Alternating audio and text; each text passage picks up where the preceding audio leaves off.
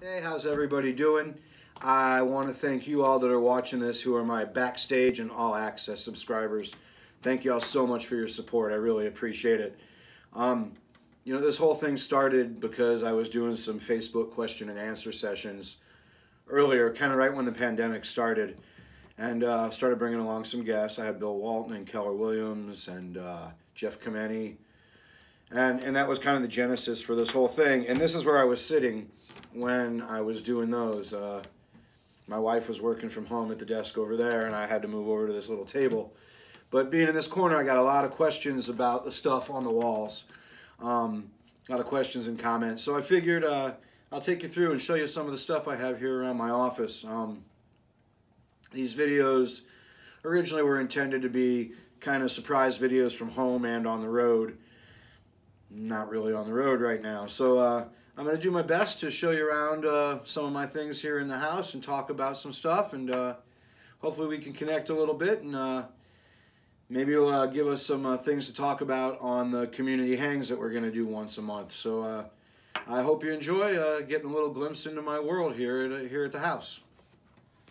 So this is kind of my office, practice space, place to get away from the kids and spend some time.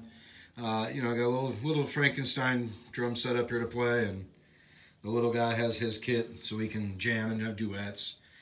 And right there at the desk where I make the podcast, take care of business. And uh, it's a nice room. It's upstairs, so it's away from the wife and kids, and it's kind of a place to go. I got a nice view of the backyard when I'm sitting at my desk, and if the kids are outside playing, I can watch them and whatnot. And uh, and most importantly, it, it gives me it gives me a place to come and practice. Um, got to try and practice. The first couple months, I didn't play nearly enough during the pandemic, and uh, really, really missed it. So it's good to be back up here. You know, I try and get up here once a day, every other day, and spend an hour or so playing. So uh, yeah, so this is the room. I'm going to take you through some of the art on the walls. There's a lot of pretty cool stuff uh, with some good stories behind it.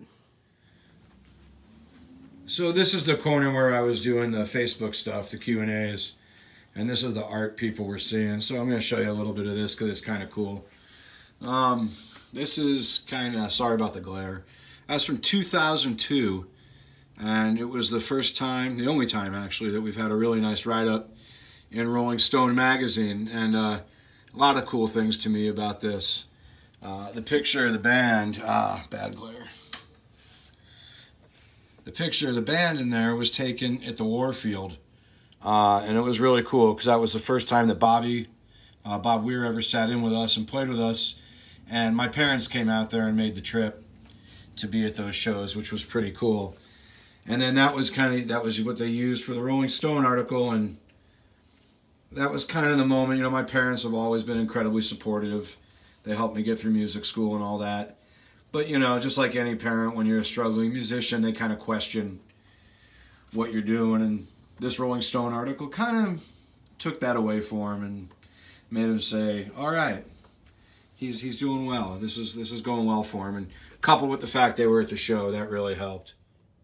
This one was pretty cool and it meant a lot. Back in 2009, we decided to put out a calendar. It was the only time we ever did it, but uh, it was pretty cool. And so a dear friend of mine took the page, which was from June, that had a bunch of pictures of us and me and Bill Walton who's become a really good friend of ours. Uh, it had a bunch of pictures of us with Walton that night.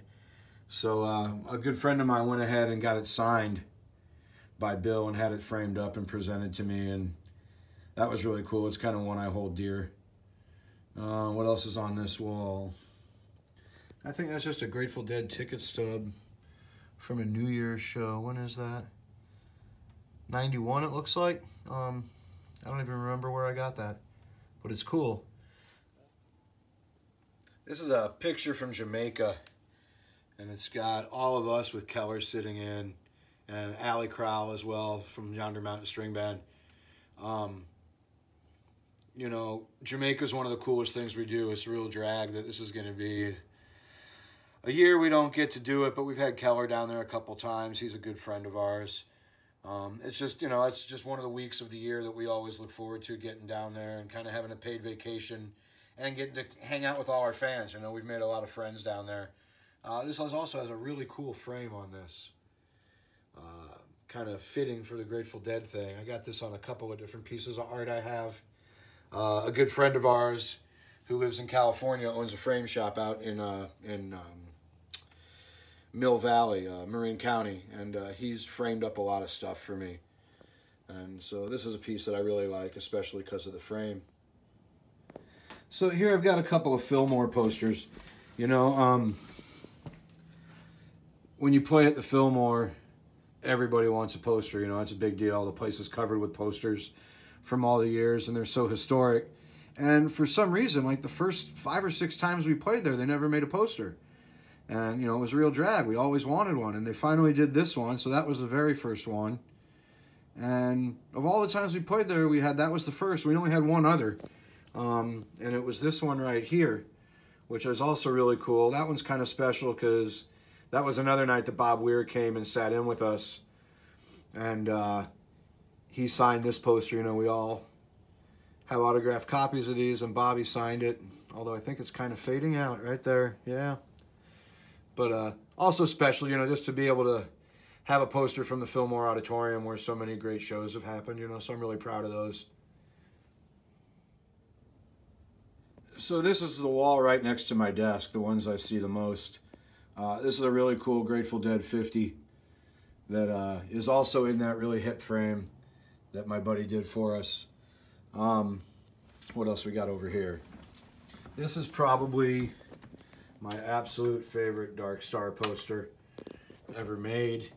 It was way back in 2000, right when I joined the band at a place called the Wool Warehouse in Albuquerque, Albuquerque, New Mexico.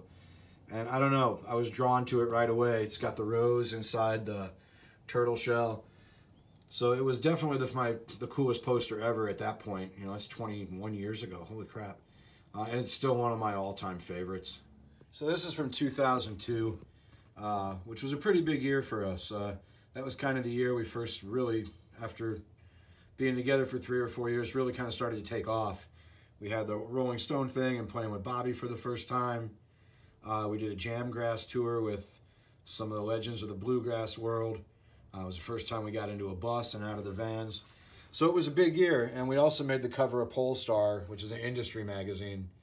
Um, and that was kind of a big deal in the industry to make the cover of Pollstar. So uh, had that one framed. Somebody did that one for me and gave it to me.